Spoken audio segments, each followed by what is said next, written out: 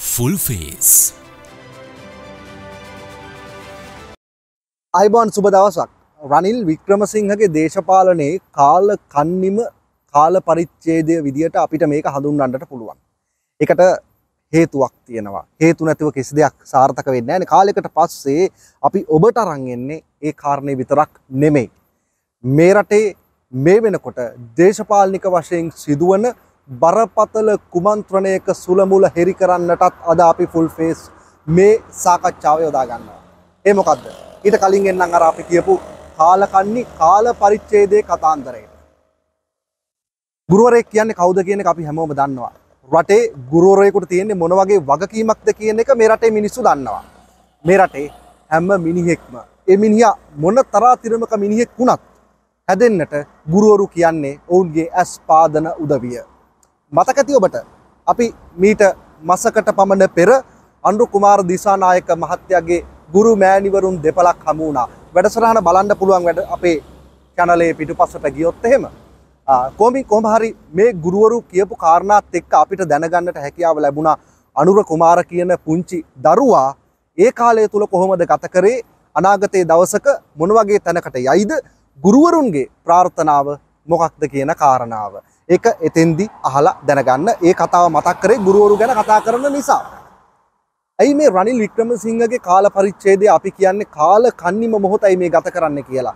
ඒකට හේතුව තමයි තමන්ට උගන්නපු ගුරුවරුන්ටත් නිග්‍රහයක් දක්වමින් මේ රටේ සමස්ත ගුරු ප්‍රජාවට රනිල් වික්‍රමසිංහ නම් ත්‍රාඩ කාලකන්නි පාලකයා විසින් ඉතාම මිලෙච්චන්දමින් පොලිසිය යොදවල තමන්ගේ සුවච්ච කීකරු බලුකොක්කොටගේ යොදවලා ප්‍රහාරයක් එල්ල කරනවා අර කොළඹදී ඒ අය පාගමනින් උද්ඝෝෂණයෙන් උද්ඝෝෂණයක් කරන්න පැමිණියාම.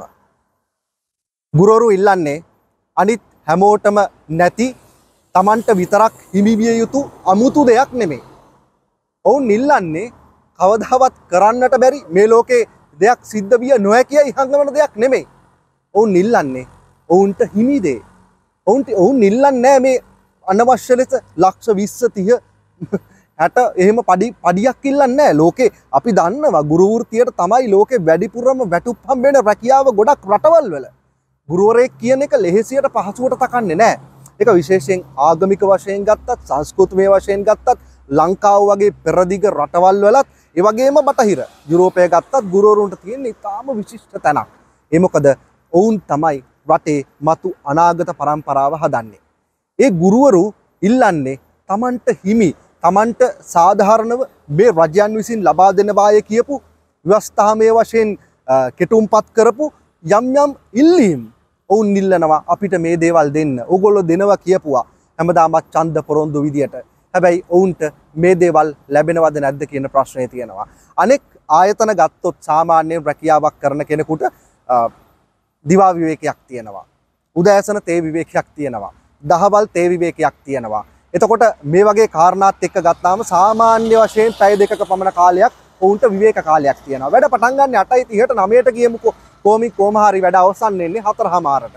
ඒකේ අර පැය දෙකමාර අඩු කරාම සාමාන්‍ය පැය 6ක 6ක කාලයක් තමයි වෙනත් රැකියාවල වැඩ කටයුතු කරන්නේ. ගුරු වෘත්තිය ගත්තොත් ඒ අය කිසිම විවේකයක් නැතුව වැඩ කරලත් ඔවුන්ට දවසටම විනාඩි 20ක විවේක කාලයක්. ඒක කවුරුත් දන්නවා මේ දරුවන්ට විවේක කාලයට මොන වගේ වෙලාවක්ද ලැබෙන්නේ ඒ විවේකයම තමයි ගුරුවරුන්ට ලැබෙන්නේ.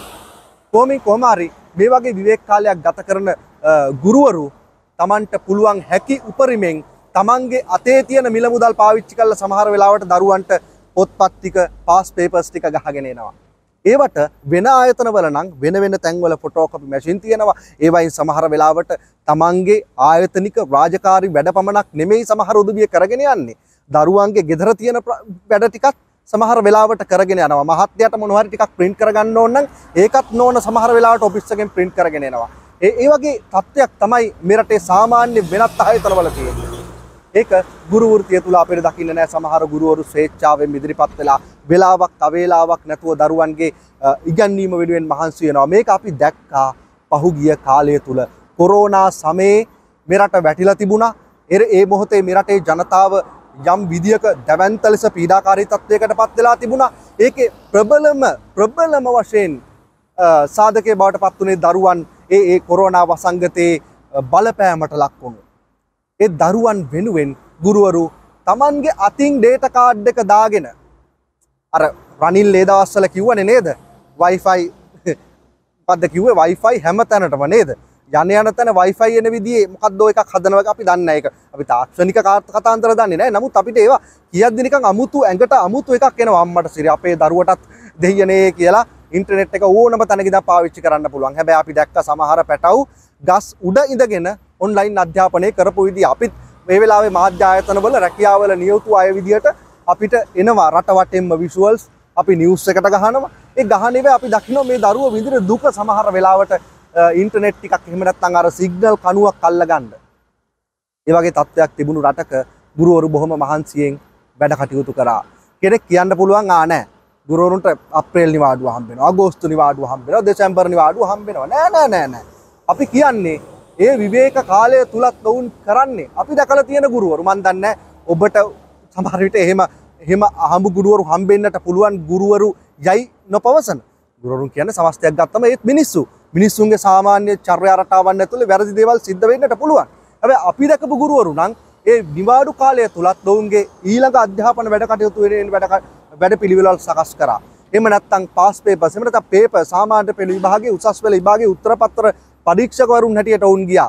ඉල්ලුවා රුපියල් 2000 දීමනාව අඩුම තරම ඒකවත් දියල්ල කියලා හරියට අපිට මේ යනේන වීදන් ටික කවර් කරගන්න. ඒකවත් නැහැ.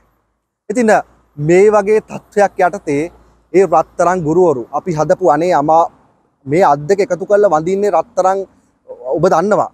රත්තරන් අම්මටයි තාත්තටයි ඒ වගේම අපි ආගමික වශයෙන් අදහන අපේ ශාස්ත්‍රූන් වහන්සේලටයි ඒ වගේම අපි වඳිනවා නම් වඳින්නේ ගුරුවරුන්ට. එච්චරයි. අත් දෙක එකතු කල්ලා දනගහල වදින්නට පුළුවන් ඒ ගුරුවරුන් වෙනුවෙන් අද සමස්ත සමාජයක් හඬා වැටිය යුතු මොහොතක අපි දකිනවා සමහර ත්‍රාඩ කාලකන්නේ නිවටයෝ ටිකක් ඉදගෙන රනිල්ගේ හෙංචයියන් විදියට සමාජ මාධ්‍ය තුළ හැසිරෙනවා අමුතු අමුතු කතාන්දර කිය. කිය නිකං පඩිගන්නවා. නිකං පඩිගත්තලං අද රනිල් වික්‍රමසිංහත් ඔතන නෑ. අපිට කියන්න තියෙන එච්චරයි. රනිල්ලා සමහර විට මේ රටේ උගත්තුන වණ්ඩ පුළුවන්. විපක්ෂ නායක සජිත් ප්‍රේමදාස මෙහි නූගතෙක් වෙන්න පුළුවන් ඒක ලන්ඩන් වල අර මේ රටවල ගිහිල්ලා ඔය ඉගෙන ගත්තට මේ රටේ ගුරුවරුන්ගෙන් ඉගෙන ගත්ත සමස්තයක් මේ වෙනකොට මේ රට විතරක් නෙමෙයි ලෝකයක් දිනලා තියෙනවා. ඒ දරුවෝ හැමදාමත් අදත් හෙටත් ඒ ගුරුවරුන් ජීවතුන් අතර හිටියක් නැතත් හදවතේ සදාතනිකව ඔවුන්ගේ වේදනාවන් ඔවුන්ගේ සන්තෝෂය සටහන් කරගෙන ඉන්නවා ගුරුවරුන්ගේ නාමයෙන්. එහෙම අවස්ථාවක තමයි රනිල් වික්‍රමසිංහ තමන්ගේ කිසිම ගුණයහපත් අර කියනවනේ රනිල් වික්‍රමසිංහ කියන්නේ මාර පොරක් ප්‍රජාතන්ත්‍රවාදී නායකයෙක්. ඒ කියන්නේ මේ ප්‍රජාතන්ත්‍රවාදය කියන නමට සලකුණක් ඇත්නම් ඒ රනිල් වික්‍රමසිංහයයි යම් පිරිසක් මේ සමාජය තුළ හැඳින්වුවනේ. හැබැයි එහෙම දෙයක් අපි දැක්කේ නෑ පහුගිය කාලය තුල. ඊටාම දරුණු විදියට ත්‍රාඩ විදියට හැසිරුණා. දරුවන්ගේ අධ්‍යාපනය පිළිබඳව ප්‍රශ්නයක් නෙමේ ගුරුවරු කියන්නේ. දරුවන්ට අධ්‍යාපනය ලැබින් ලැබෙන් ඕන විදියට ලැබෙන් ලැබිය යුතු අවස්ථාවේ ලබා දෙන්නට ඔවුන් සූදානම්. හැබැයි උන්ට අයිතින් අයිතිවාසිකම් කිහිපයක් තියෙනවා. මතකනේ අර සුභාරංචිය පහුගිය දවස නේද? මේක අරන් ආවනම් මේක ඇතුලේ මොන හරි සුභාරංචියක් තිබුණා නම් ඇත්තටම රනිල්ට අර විදිහේ කඳුළු ගෑස් ප්‍රහාර එල්ල කළ ගුරුවරු පරවා හරින්නට ඕනේ නැහැ. ඇත්තම සුභාරංචියක් නම් ඒක රනිල්ට තිබුණ ගුරුවරුන් එක්ක සාකච්ඡා කරන්න කියන්න තිබුණා. ප්‍රශ්නයක් තිබුණ රටේ හරි අර කිව්ව විදිහට වැල්පාල මේ මම මේක කොහොම හරි අමාරුවෙන් අරන් ගියා. දැන් අපි ගොඩ කියන එක කියන්න තිබුණා කියලා ගුරුවරුන්ට කියන්න තිබුණ හරි. ඔයාලට අපි ඉස්සරහ කාලය තුළ මෙන්න මේ ආකාරයට ඕගොල්ලොන්ගේ හිමි වැටුප ලබා දෙන්නට අපි සූදානම් කියලා. ඒක කියන්න තිබුණනේ.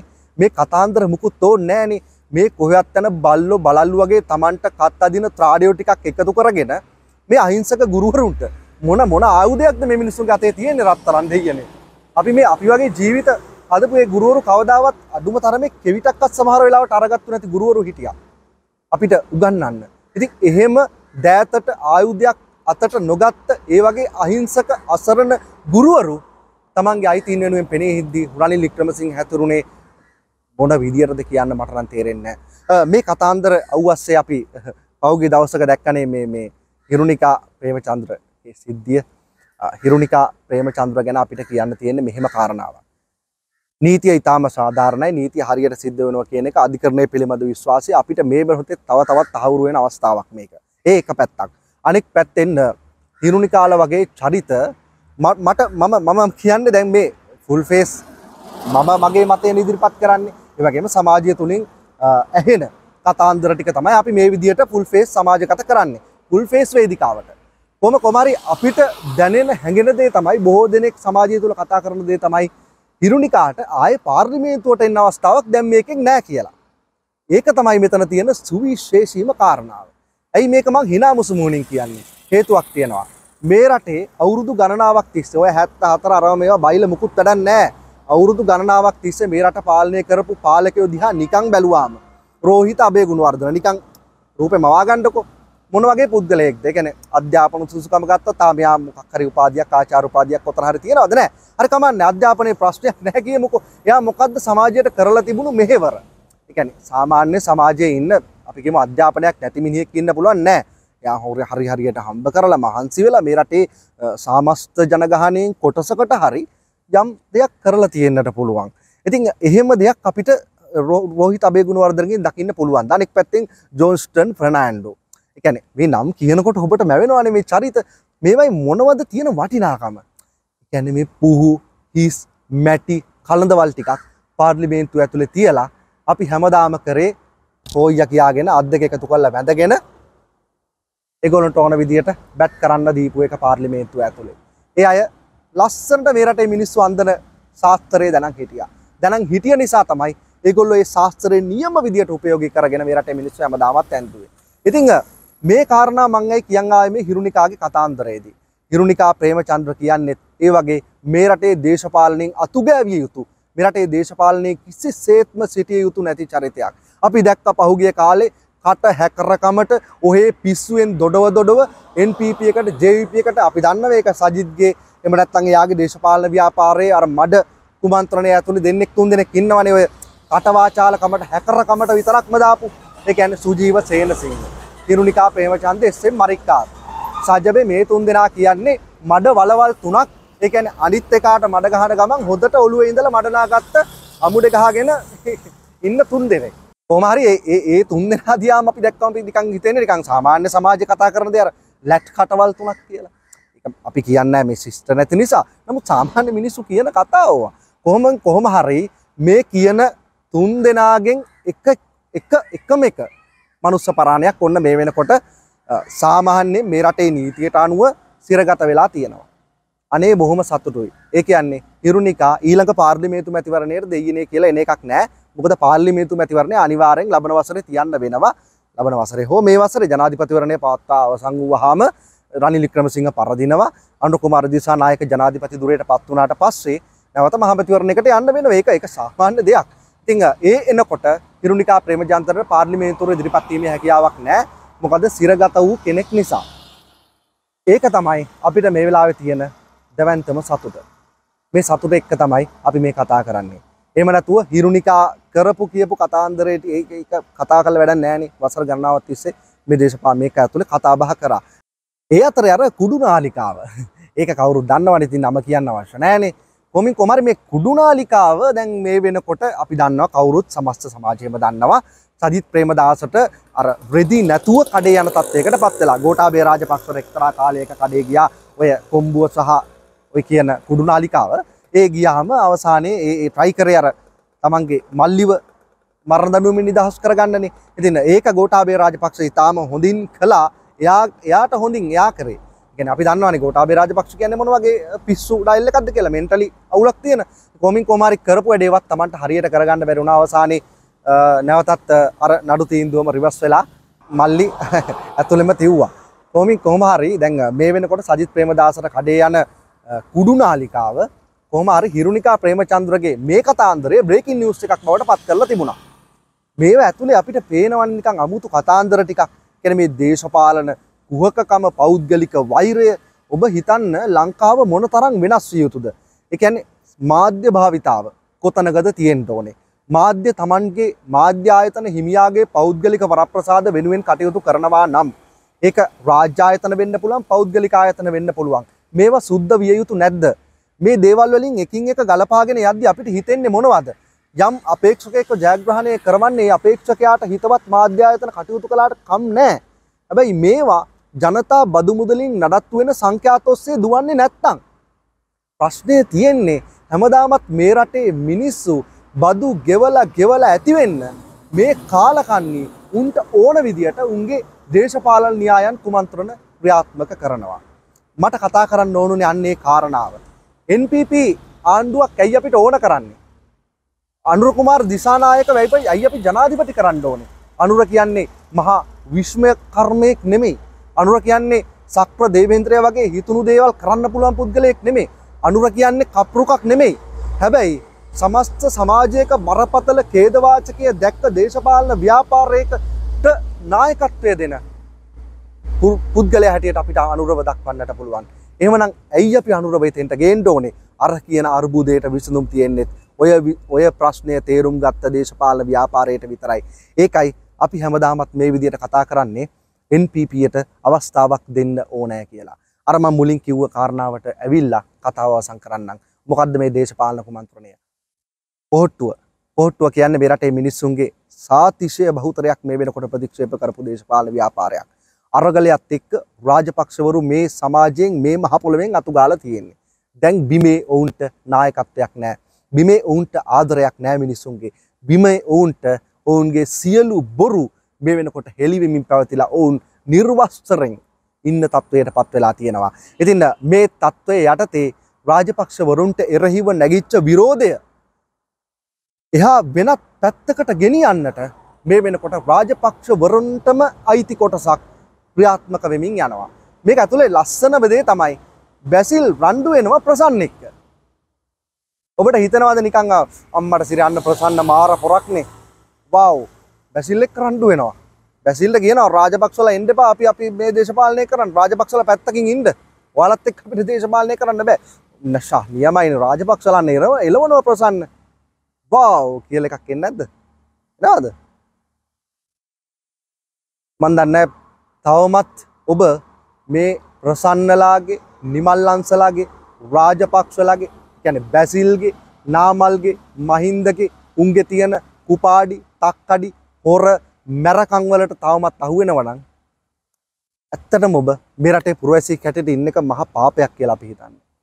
මොකද මෙච්චර දෙයක් වෙලා තියෙද්දි මේ රට නැති බංගස්ථාන කරලා විනාශ කරලා මේ රට එකතු වෙලා හොඳයි මේකේ කිසි තැනක ඔබ හිතන්න එපා මේ මේගොල්ලෝ තනි තනිව නිකන් ආ බැසිල් කොටසක් ගත්තා.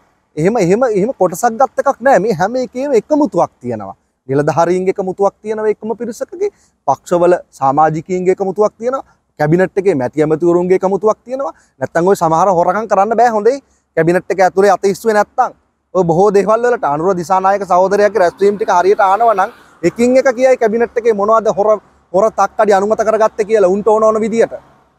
ඔය දැන් ඇතුලේ ඉන්නේ කෙහෙලියලා කොහමද බෙහෙත් වලට ඇප්‍රූවල් එක ගත්ත විදිය කැබිනට් එකට දාලා අවසානයේ මොනවද බෙහෙත් නැහැ ඔන්න කැබිනට් එකේ කට්ටිය එකතු වෙලා සාමූහික වගකීමලු.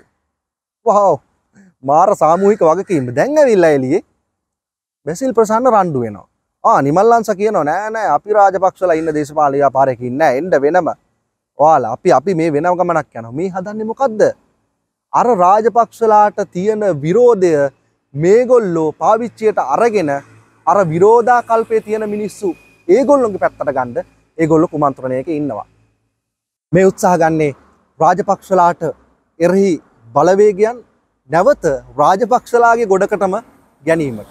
එකන්නේ ප්‍රසන්න රණතුංගල උත්සාහ ගන්නවා. රාජපක්ෂලට විරුද්ධ යම් චන්දයක් තියෙනවා නම් ඒක NPP එකටත් නෙමෙයි සජබෙටත් නෙමෙයි අපිටම දෙන්න ඕනේ. ඒක එහෙනම් අපි ගන්නම්.